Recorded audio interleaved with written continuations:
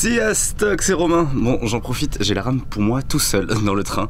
Ça a été la galère ce matin, j'étais en retard. Mais bon, c'est bon, je suis dans le train, direction Poitiers pour cette nouvelle journée. Et je vais te laisser un petit peu sur ce suspense pour savoir ce qui va se passer. Allez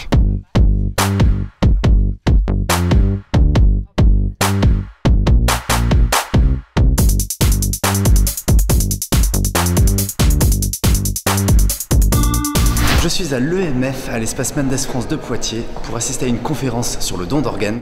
Je te montre ça.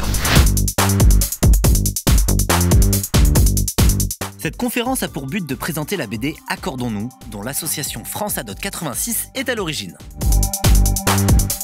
Pose la question euh, aux jeunes, euh, est-ce que vous en avez parlé en famille? Est-ce que vous avez évoqué ce sujet? 5% nous répondent positivement. Il y a une grande communication à faire pour le don d'organes. Le but de cette BD, c'est un moyen d'aborder un sujet qui est très difficile, voire tabou, par euh, des histoires qui sont, qui sont très simples. On a constitué un comité scientifique avec l'hôpital de Poitiers. On ne pouvait faire un projet comme ça sans avoir l'expérience de, de médecin. Ce que je retiens de cette expérience, c'est surtout la motivation et l'enthousiasme parce que ça, ça a été vraiment quelque chose qui a marqué ce projet. Les réunions entre dessinateurs et médecins se sont passées de façon mais, remarquable. Le plus important, puisqu'on pour le don d'organes, c'est d'en parler. Merci beaucoup Elisabeth d'avoir répondu à mes questions. Merci aussi. Hein,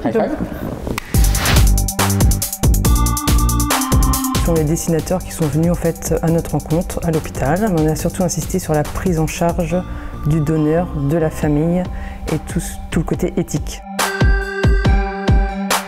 c'est toujours un plaisir en effet euh, d'accompagner ces associations de patients qui s'investissent énormément euh, pour promouvoir euh, ce don d'organes. De notre point de vue, on ne veut pas convaincre qui que ce soit de donner ou de ne pas donner ses organes. On voulait simplement transmettre toutes les informations pour que les gens puissent choisir en leur âme et conscience.